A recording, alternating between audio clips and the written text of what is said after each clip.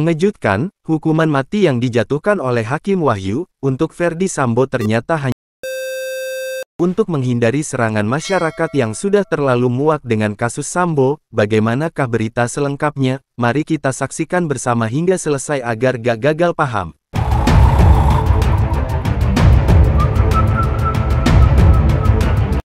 Fonis hukuman mati bagi terpidana Ferdi Sambo, dalam pembunuhan Brigadir Yosua Huta Barat, diketok Senin tanggal 13 Februari tahun 2023 kemarin.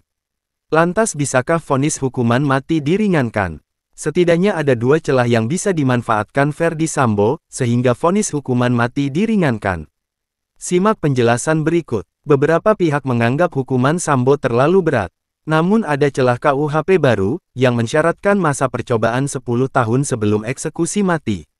Poin inilah yang menjadi perdebatan perihal kemungkinan vonis hukuman mati dapat diringankan. Jika dalam 10 tahun tersebut terdakwa dinilai berkelakuan baik, maka hukuman bisa diringankan menjadi penjara seumur hidup, atau penjara 20 tahun. Hanya saja, KUHP baru akan berlaku pada Januari tahun 2026 mendatang. Hukuman mati ini bisa diringankan apabila eksekusinya dilakukan ketika KUHP baru telah berlaku. Meskipun vonis hukuman diketok sebelumnya.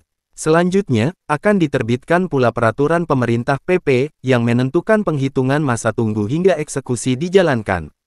Celah lainnya untuk terhindar dari hukuman mati adalah, waktu tujuh hari yang diberikan untuk pengajuan banding, ke pengadilan tinggi. Waktu ini dihitung sejak putusan hukuman mati dijatuhkan awal pekan ini.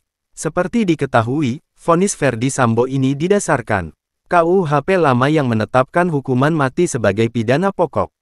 Pasalnya, hukuman bagi Sambo diketok saat KUHP baru yang disahkan menjadi UU nomor 1 tahun 2023 belum berlaku. Dalam KUHP baru hukuman mati dipandang sebagai pidana yang bersifat khusus dan hanya diancamkan secara alternatif. KUHP baru akan berlaku mulai tanggal 2 Januari tahun 2026 atau tiga tahun setelah disahkan. Syarat vonis hukuman mati tidak berubah. Hanya saja ada syarat utama yang harus dipenuhi, agar hukuman mati tetap menjadi hukuman mati, yakni harus dieksekusi sebelum KUHP baru berlaku.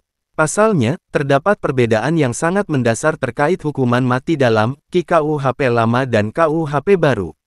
Dalam pasal 100, KUHP baru tentang pidana mati, disebutkan bahwa hakim dapat menjatuhkan pidana mati dengan masa percobaan 10 tahun.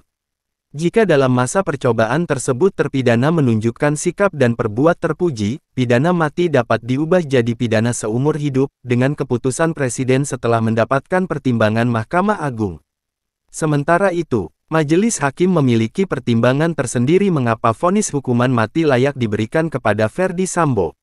Beberapa pertimbangan yang memberatkan Sambo, antara lain perbuatan yang dilakukan terhadap ajudan sendiri, yang telah mengabdi selama tiga tahun, perbuatan yang mengakibatkan duka mendalam bagi keluarga korban, serta perbuatan terdakwa yang telah mencoreng institusi Polri di mata nasional dan internasional.